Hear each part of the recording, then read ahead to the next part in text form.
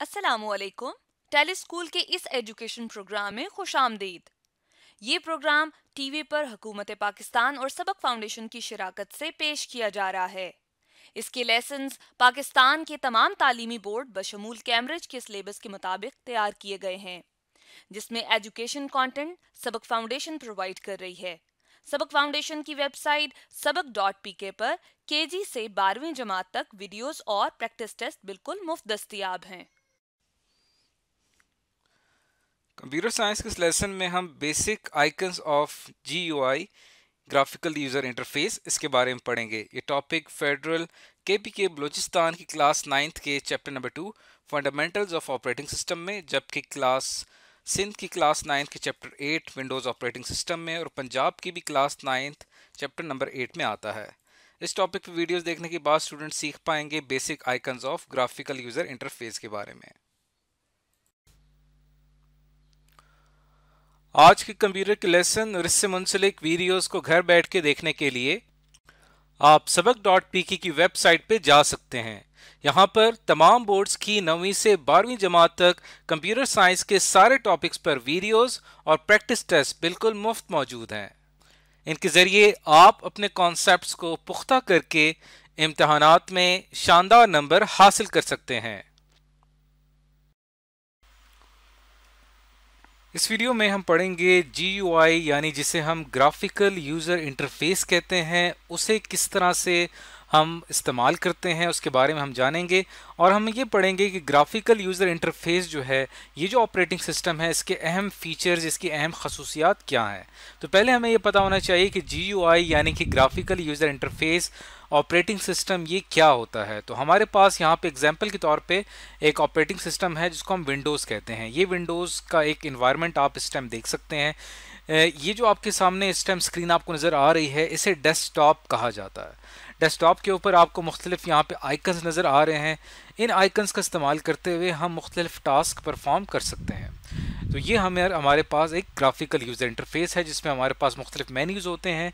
मुख्तफ icons होते हैं different menus होते हैं और हम कहीं पे भी राइट क्लिक करके डिफरेंट मेन्यू में सेलेक्ट कर सकते हैं डिफरेंट ऑप्शन सेलेक्ट कर सकते हैं तो इसको यूज़र फ्रेंडली इंटरफेस भी कहा जाता है। इससे पहले जो था, हमारे पास ग्राफिकल यूज़र इंटरफेस से पहले जो ऑपरेटिंग सिस्टम था, वो कमांड लाइन इंटरफेस था। उसकी शक्ल कुछ इस तरह से होती थी, इसके ऊपर हमें कमांड्स टाइप करना पड़ती थी। लेकिन अब हमारे पास हमें कमांड्स टाइप करने की ज़रूरत नहीं है। ये हमारे पास पॉइंटर है। पॉइंटर की मदद से हम किसी भी इस चीज़ के ऊपर क्लिक करके वो टास्क परफॉर्म कर सकते हैं। तो चलते हैं अब इसके मेन फीचर्स की तरफ़। मेन फीचर्स इसके जो हैं वो चार हैं। किसी भी ग्राफिकल यूज़र इंटरफेस में ये चार चीज़ें जो होती हैं, बड़ी इंपॉर्टेंट होती हैं। पहली चीज़ है विंडो विंडो किसे कहा जाता है? अब देखें, यहाँ पे आपको एक ऑप्शन नज़र आ रहा है। ये एक फोल्डर का, यहाँ पे जब हम क्लिक करते हैं तो ये आपके सामने एक विंडो ओपन हो गई है। इस विंडो में हमारे पास डिफरेंट ऑप्शंस मौजूद हैं। इसकी मदद से हम इस ऑपरेटिंग सिस्टम के डिफरेंट फाइल्स एंड फोल्डर्स तक अपनी पहुँच कर सकते हैं, अपने एक्सेस कर सकते हैं। इसे हम विंडो कहते हैं। इसके अंदर ये तीन अहम फीचर्स हैं जो कि बड़े इंपॉर्टेंट हैं। इसको हम कहते हैं मिनिमाइज़ कर देना। देखिए मिनिमाइज़ करने से विंडो गायब हो जाएगी और हम दोबारा इसको रिस्टोर करना चाहें तो यहाँ पे क्लिक करेंगे तो ये रिस्टोर हो जाएगी। इसी तरह हम इसको मैक्सिमाइज़ करके इसका साइज़ बड़ा कर सकते हैं और इसको फिर छोटा कर सकते हैं। और अगर हमने इसको क्लोज़ करना हो तो हम इसे क्लोज़ कर सकते हैं। तो ये हमारे पास एक विंडो कहलाती है। उसके बाद अहम ऑप्शन जो होता है अहम फीचर है ग्राफिकल यूज़र इंटरफेस का, उसे हम आइकन कहते हैं। यहाँ पे आपको डेस्कटॉप पे डिफरेंट आइकन्स नज़र आ रहे हैं, जैसे कि यहाँ पे एक रिसाइकल बिन का आइकन है माई कंप्यूटर का आइकन है ये एक शॉर्टकट का आइकन है, इसी तरह जब हम कोई विंडो ओपन करते हैं, यहाँ पे भी हमारे पास डिफरेंट आइकन्स होते हैं। इन आइकन्स को हम डिफरेंट तरह से शो कर सकते हैं डिफरेंट तरह से हम इसको अरेंज कर सकते हैं। तो ये इसे हम आइकन कहते हैं। आइकन जो है वो किसी ख़ास एप्लीकेशन को रिप्रेजेंट कर रहा होता है। इसकी तफसीलात हम आगे चल के पढ़ेंगे। उसके बाद तीसरा अहम फीचर जो है वो मेन्यू कहलाता है। जब से इंपॉर्टेंट मेन्यू यहाँ पे स्टार्ट मेन्यू है, ऐसे ही आप स्टार्ट मेन्यू पे क्लिक करते हैं तो यहाँ पे हमारे पास डिफरेंट ऑप्शंस आ जाते हैं, जिसकी मदद से हम मुख्तलिफ़ ऑप्शन चला मुख्तलिफ़ एप्लीकेशन चला सकते हैं। चौथा सबसे अहम फीचर जी का होता है, उसे हम पॉइंटर कहते हैं। जैसे कि आप स्क्रीन पे देख सकते हैं एक पॉइंटर मूव कर रहा है। इस पॉइंटर को हम माउस की मदद से इस्तेमाल करते हैं और कहीं पे भी हम ले जाना चाहें, कहीं पे भी हम क्लिक करना चाहें, वो हम कर सकते हैं। इसकी मदद से हम एक लेफ़्ट क्लिक करके किसी भी चीज़ को ओपन करना चाहें तो हमें डबल क्लिक करना पड़ेगा और अगर हम इसको चाहें तो राइट क्लिक करके भी हम इसको ओपन कर सकते हैं। तो इसे हम पॉइंटर कहते हैं। पॉइंटर की वजह से कंप्यूटर की जो आसान कंप्यूटर को इस्तेमाल करना है वो काफ़ी ज़्यादा आसान हो गया है। तो इसीलिए हमारे पास क्या है? एक यूज़र फ्रेंडली इंटरफेस है।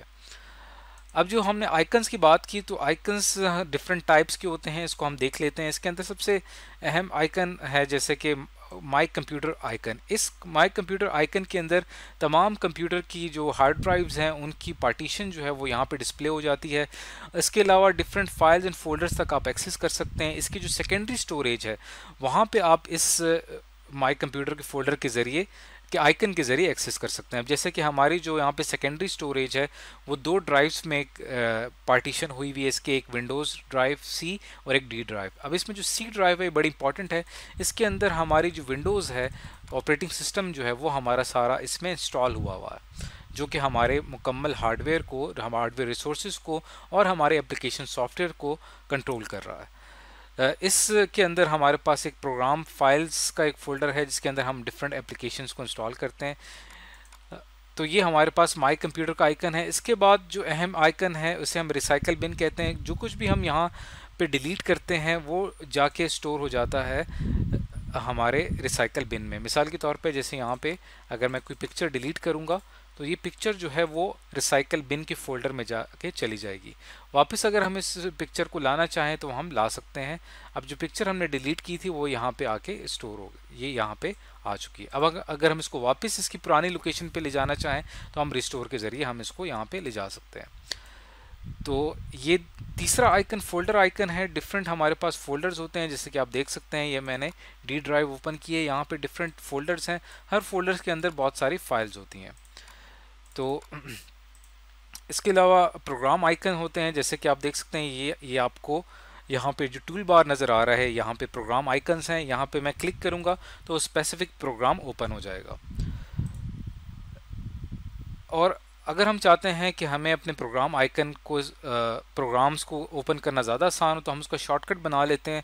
जैसा कि विंडोज़ मीडिया प्लेयर जो कि हम इस्तेमाल करते हैं सॉन्ग्स और मूवीज़ चलाने के लिए, उसका हमने यहाँ पर एक शॉर्टकट आइकन बनाया है। इसके ऊपर हम डबल क्लिक करेंगे। तो विंडोज़ मीडिया प्लेयर ओपन हो जाएगा, बजाय इसके कि हमें स्टार्ट मेन्यू में जाके उसको ओपन करने की ज़रूरत नहीं है। तो ये हमारे पास कहलाता है ग्राफिकल यूज़र इंटरफेस जो आपने आज सीखा। ग्राफिकल यूज़र इंटरफेस क्या होता है? और इसकी आज हमने एक टाइप स्टडी की है विंडोज़ की।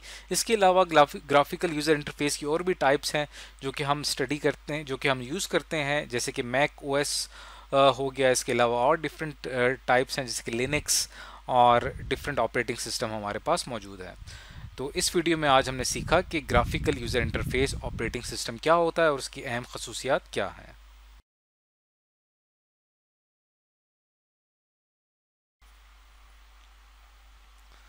इस वीडियो में हम जी मैनेजमेंट से मुतालिक पढ़ेंगे, यानी जी ग्राफिकल यूज़र इंटरफेस एक हमारे पास ऑपरेटिंग सिस्टम है। इसके अंदर डिफरेंट टूल्स हैं डिफरेंट तरीक़ेकार हैं डिफरेंट टेक्निक्स हैं। इसकी मदद से हम क्या कर सकते हैं कि डाटा को ज़्यादा अच्छे तरीके से मैनेज कर सकते हैं। तो हम ये जानेंगे कि एक जी को किस तरह से मैनेज किया जाता है या जी में जो हमारे पास डाटा है, उसको हम किस तरह से मैनेज करते हैं। तो डाटा को मैनेज करने के लिए हम क्या करते हैं कि डिफरेंट फोल्डर्स क्रिएट करते हैं और उन फोल्डर्स के अंदर हम उस फोल्डर से मुतालिक फ़ाइल्स को स्टोर करते हैं। अभी किया किस तरह से जाता है, इसको आज हमने सीखना है। अब मिसाल के तौर पर अगर मैंने एक फ़ोल्डर क्रिएट करना है तो उसके लिए मैं एक विंडो ओपन करूँगा। और यहाँ पे हमारे पास माई कंप्यूटर के अंदर डिफरेंट ड्राइव्स हैं। डी ड्राइव हमारे पास एक ऐसी ड्राइव होती है जिसमें ऑपरेटिंग सिस्टम मौजूद नहीं होता। इसकी, इसके लिए हम यहाँ पे अपना डाटा जो दूसरा डाटा होता है इमेजेस वीडियोस वो हम ज़्यादा महफूज तरीके से यहाँ पे स्टोर कर सकते हैं। तो यहाँ डी ड्राइव पे अगर लेट सपोज़ मैं एक फ़ोल्डर बनाना चाहता हूँ और उस फोल्डर के अंदर मैं उसका नाम रख देता हूँ माई डॉक्यूमेंट्स अब इस फोल्डर में क्या होगा कि जितने भी मेरे डॉक्यूमेंट्स हैं वो इस फोल्डर में आके मैं स्टोर कर सकूँगा। तो जितनी भी अब मैं फ़ाइल्स पे काम करूँगा, वो तमाम फाइल्स मैं इस फोल्डर के अंदर स्टोर करूँगा। अब यहाँ पे आप देख सकते हैं कि यहाँ पे डिफरेंट फाइल्स हैं और अब अगर मैं किसी एक फ़ाइल को इस फोल्डर में मूव करना चाहता हूँ तो मुझे क्या करना पड़ेगा? उस फ़ाइल के ऊपर हम राइट क्लिक करेंगे और यहाँ पे देखें डिफरेंट ऑप्शंस आ रहे हैं। तो यहाँ पे अगर मैं इसको कॉपी करता हूँ तो कॉपी करने के बाद जैसे ही हम यहाँ पे माई डॉक्यूमेंट्स के के ऊपर डबल क्लिक करेंगे तो यहाँ पे हम इसको पेस्ट करेंगे तो वो जो फ़ाइल थी वो यहाँ पे अब मेरी कॉपी हो गई। तो जितने भी मेरे रिलेटेड फाइल्स हैं, जिसकी मुझे ज़रूरत है, वो यहाँ पर मैं कॉपी करता जाऊँगा और मेरे इस फोल्डर में वो स्टोर होती जाएँगी। तो इस तरह से हम क्या करते हैं कि अपनी मर्ज़ी के हिसाब से डिफरेंट फोल्डर्स क्रिएट करते हैं। जैसे कि आप देख सकते हैं कि यहाँ पे हमने डिफरेंट फोल्डर्स क्रिएट किए हुए हैं। अब आपने ये चीज़ सीखनी है कि एक फ़ाइल को किस तरह से कॉपी किया जाता है, एक जगह से दूसरी जगह किस तरह से मूव किया जाता है। अगर आप चाहते हैं कि अगर आपकी फ़ाइल परमानेंट एक जगह से दूसरी जगह मूव हो जाए तो जैसे यहाँ पे एक फ़ाइल है हमारे पास रिपोर्ट के नाम से, इसको हम क्या करते हैं? राइट क्लिक करेंगे इसके ऊपर और हम इसको कट करेंगे और कट करने के बाद ये फ़ाइल यहाँ से मूव हो जाएगी हमारे इस फोल्डर में। उसके लिए हम यहाँ पे फिर से राइट क्लिक करेंगे और फिर हम यहाँ पे पेस्ट के बटन पे क्लिक करेंगे तो वो फ़ाइल परमानेंट वहाँ से ख़त्म हो गई और हमारे इस फोल्डर के अंदर आ गई। इससे पहले जो हमने फ़ाइल मूव की थी वो फ़ाइल एबीसी के नाम से यहाँ भी मौजूद है और जहाँ पे हमने इसको पेस्ट किया था, वहाँ पे भी मौजूद है। यानी उसकी एक कॉपी क्रिएट हो गई है कॉपी बन गई है। इसी तरह अगर आप चाहते हैं कि हमारे पास यहाँ पे देखें माई कंप्यूटर में दो ड्राइव्स हैं, एक सी ड्राइव और एक डी ड्राइव अगर मैं डी ड्राइव से डाटा सी ड्राइव में मुंतकिल करना चाहता हूँ तो मुझे क्या करना पड़ेगा? डी ड्राइव में मौजूद उस फोल्डर को जिसको मैं वहाँ पे मूव करना चाहता हूँ, उसको हम यहाँ पे कॉपी करेंगे और उसके बाद हम सी ड्राइव में डबल क्लिक करेंगे और यहाँ पे आके हम इसको पेस्ट कर देंगे। तो आपने देखा कि उसकी जो कॉपी थी वो यहाँ पे आके क्रिएट हो गई। तो इस तरह से हम क्या करते हैं कि अपने फाइल्स एंड फोल्डर्स को इन ड्राइव्स के अंदर कंट्रोल करते हैं। इसी तरह अगर आप चाहें तो डेस्कटॉप के ऊपर भी आप अगर कोई फोल्डर क्रिएट करना चाहें तो वहाँ पे भी आप राइट क्लिक करेंगे न्यू पे जाएँगे और यहाँ पे हमारे पास डिफरेंट ऑप्शंस हैं। आप न्यू फोल्डर क्रिएट कर सकते हैं, मुख्तलिफ़ फाइल्स क्रिएट कर सकते हैं। अब जैसे कि मैं फ़ोल्डर पर क्लिक करता हूँ तो यहाँ पर मेरे पास एक न्यू फोल्डर क्रिएट हो जाएगा। अब इस न्यू फोल्डर में अगर मैं अपने इमेजेस स्टोर करना चाहता हूँ तो यहाँ पे अगर मेरे पास कुछ पिक्चर्स हैं और इन पिक्चर्स को मैं उसके अंदर स्टोर करना चाहता हूँ तो यहाँ पे हम इसको सेलेक्ट करेंगे। और इसके ऊपर हम राइट क्लिक करने के बाद इसको हम कॉपी करेंगे और कॉपी करने के बाद हम अपने इस फोल्डर में इसको पेस्ट कर देंगे। तो जितने भी हमारी फाइल्स थी वो इमेज फ़ाइल थी वो तमाम यहाँ पे स्टोर हो गई। तो अब हम अगर इसका व्यू चेंज करना चाहें तो हम इसका व्यू भी चेंज कर सकते हैं। तो इस तरीके से हम अपने इस ग्राफिकल यूज़र इंटरफेस में फाइल्स एंड फोल्डर्स की मदद से हम अपने डाटा को मैनेज करते हैं।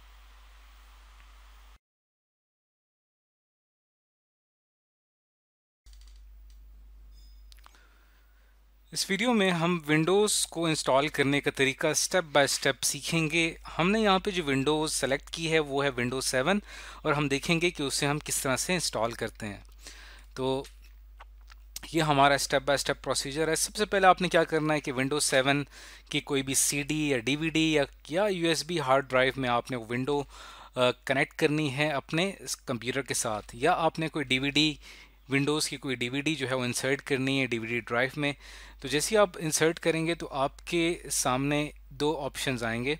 आपने की प्रेस करनी है, मुख्तलिफ़ ऑपरेटिंग्स, मुख्तलिफ़ सिस्टम्स में डिफरेंट कीज़ होती हैं, लेकिन नॉर्मली आप F2 प्रेस कर सकते हैं कीबोर्ड से, या आप डेल की, कीबोर्ड पे होती है एक, ये आप प्रेस करेंगे। जैसे आप ये की प्रेस करेंगे तो क्या होगा कि आपके सामने ये स्क्रीन अपेयर हो जाएगी। ये स्क्रीन क्या है? दरअसल ये जो हमने इससे पहले भी वीडियो में पढ़ा था कि ये क्या कर रही है कि ये हमें ऑप्शंस दे रही है कि हमारे पास कौन कौन सी ड्राइव्स हैं जिससे हम बूट कर सकते हैं, जिससे हम ऑपरेटिंग सिस्टम जो है वो मेमोरी में लोड कर सकते हैं। तो हमारे पास ये टोटल लेट सपोज़ तीन डिवाइसेस हैं, जिसमें एक सी डी रोम है, एक हार्ड ड्राइव है और तीसरा हमारे पास कोई यूएसबी है। तो लेट सपोज़ अगर हमने सी डी रोम या डी वी डी रोम में हमने अपनी डी वी डी इंसर्ट की है विंडोज़ की तो उसको हम सेलेक्ट करके एंटर प्रेस करेंगे।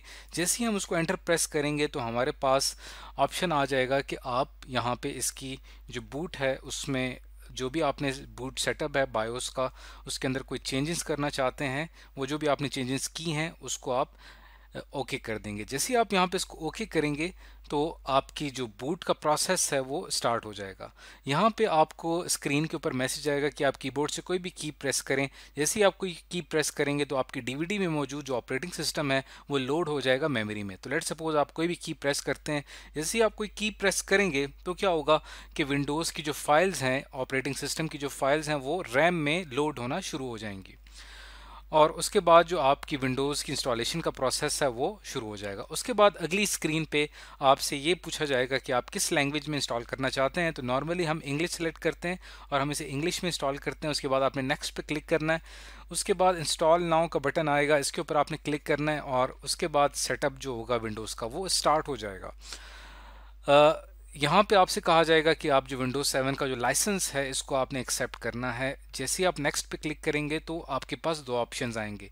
या तो आप पहले से मौजूद जो विंडोज़ आपके कंप्यूटर में मौजूद है, उसे अपग्रेड करना चाहते हैं या आप कस्टम करना चाहते हैं, यानी आप एक बिल्कुल नई विंडो इंस्टॉल करना चाहते हैं। तो हम यहाँ पे कस्टम के ऊपर क्लिक करेंगे। तो हमारे पास जो यहाँ पे जितनी भी हार्ड ड्राइव है, वो हमारे सामने आ जाएगी कि हमारे पास टोटल 97 सेवन की लेट सपोज़ एक हार्ड ड्राइव है सेकेंडरी स्टोरेज है और उसके अंदर इतनी फ्री स्पेस है। तो उसके साथ हमारे पास यहाँ पे ड्राइव ऑप्शंस होते हैं। इसके ऊपर जब आप क्लिक करेंगे तो यहाँ पे हमारे पास एक ही फ़िलहाल ड्राइव है 97 सेवन की। इसको हम क्या करना चाहते हैं? इसकी पार्टीशन करना चाहते हैं। यानी मैं ये चाहता हूँ कि 97 सेवन जो है, ये दो पार्ट्स में डिवाइड हो जाए। या जो भी मैं, जितना भी मैं इसको डिवाइड करना चाहता हूँ, उसके लिए यहाँ पे एक ऑप्शन होता है न्यू का। न्यू के ऊपर जैसे ही आप क्लिक करेंगे तो यहाँ पे आपके पास जो न्यू आप एक ड्राइव बनाना चाह रहे हैं, वहाँ पे इसका साइज़ आपने ख़ुद सेलेक्ट करना है कि जो अगली ड्राइव है, वो कितनी होनी चाहिए। तो यहाँ पे आप एम के हिसाब से उसकी साइज़ सेलेक्ट करने के बाद अप्लाई पे क्लिक करेंगे तो आपके पास जो है वो ड्राइव सेलेक्ट हो जाएगी, एक न्यू ड्राइव बन जाएगी। और आप उस न्यू ड्राइव के अंदर अपनी जो विंडोज़ है उसको आप इंस्टॉल कर सकेंगे। उसके बाद आप नेक्स्ट करेंगे तो विंडोज़ की इंस्टॉलेशन का प्रोसेस शुरू हो जाएगा। इसके लिए आपको कुछ देर वेट करना पड़ेगा। यानी स्टेप नंबर वन में क्या होता है कि वो इन्फॉर्मेशन कलेक्ट करता है। स्टेप नंबर टू स्टार्ट हो जाएगा इंस्टॉलिंग विंडोज़ का। उसके बाद इसकी विंडोज़ की फ़ाइल इंस्टॉल होती जाएँगी, इसके फीचर्स इसके अपडेट्स और आखिर में इंस्टॉलेशन जब इसकी कंप्लीट होने लगेगी तो ये आपसे कहेगा कि इसने कंप्यूटर को रीस्टार्ट करना है। और कंप्यूटर जब रीस्टार्ट होगा तो फिर से ये स्क्रीन आपके सामने आएगी क्योंकि ये फिर से आपकी डीवीडी ड्राइव में मौजूद डीवीडी को रीड करेगा। यहाँ पर आपने कोई की प्रेस नहीं करनी। अगर आप जैसी की प्रेस करेंगे तो फिर से विंडो को लोड करना शुरू कर देगा। तो यहाँ पे आपने कोई की प्रेस नहीं करनी। ये स्क्रीन खुद ब खुद थोड़ी देर बाद ख़त्म हो जाएगी। उसके बाद आपकी विंडोज़ जो आपने इंस्टॉल की है, वो इंस्टॉल हो चुकी है। उसके अंदर मज़ीद जो प्रोसेस है, वो जारी रहेगा और इसके अंदर आखिर जो प्रोसेस होता है, इसका कंप्लीटिंग इंस्टॉलेशन, यानी इंस्टॉलेशन जो है वो कंप्लीटिंग कंप्लीशन फ़ेज़ में जा रही है और उसके बाद आपसे आपका जो यूज़र नेम है वो पूछा जाएगा। आप अपना यहाँ पे अपना नाम लिखेंगे नेक्स्ट पे क्लिक करेंगे, अपना पासवर्ड लिखेंगे नेक्स्ट पे जाएँगे और अगर जो उसकी प्रोडक्ट की है, हर जो सॉफ्टवेयर होता है वो एक उसकी प्रोडक्ट की होती है जिसकी वजह से हम उस सॉफ्टवेयर को रिकग्नाइज़ करते हैं। तो आपकी जो विंडोज़ है, उसकी जो भी आपने जहाँ से परचेज़ की है, वहाँ से आपको उसकी प्रोडक्ट की मिलेगी। वो आप यहाँ पर टाइप करेंगे ताकि आपका जो विंडोज़ है वो जेन्यन हो जाए, यानी ओरिजिनल हो जाए।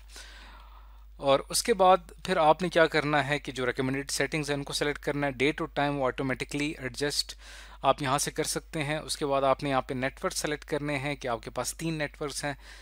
होम नेटवर्क वर्क पब्लिक अगर आप घर के लिए यूज़ कर रहे हैं तो आप होम पे क्लिक करेंगे और उसके बाद आपकी जो विंडोज़ है, वो इंस्टॉल हो चुकी होगी। और ये आपकी जो स्क्रीन है ये आपके सामने आ जाएगी। अब आपके कंप्यूटर में एक ऑपरेटिंग सिस्टम इंस्टॉल हो चुका है, जिसकी मदद से अब आप अपने कंप्यूटर में कोई भी एप्लीकेशन सॉफ्टवेयर चलाना चाहें तो आप चला सकते हैं। तो विंडोज़ जो है ये आपके सामने है और इसको किस तरह से इंस्टॉल किया जाता है, आज हमने इस वीडियो में सीखा।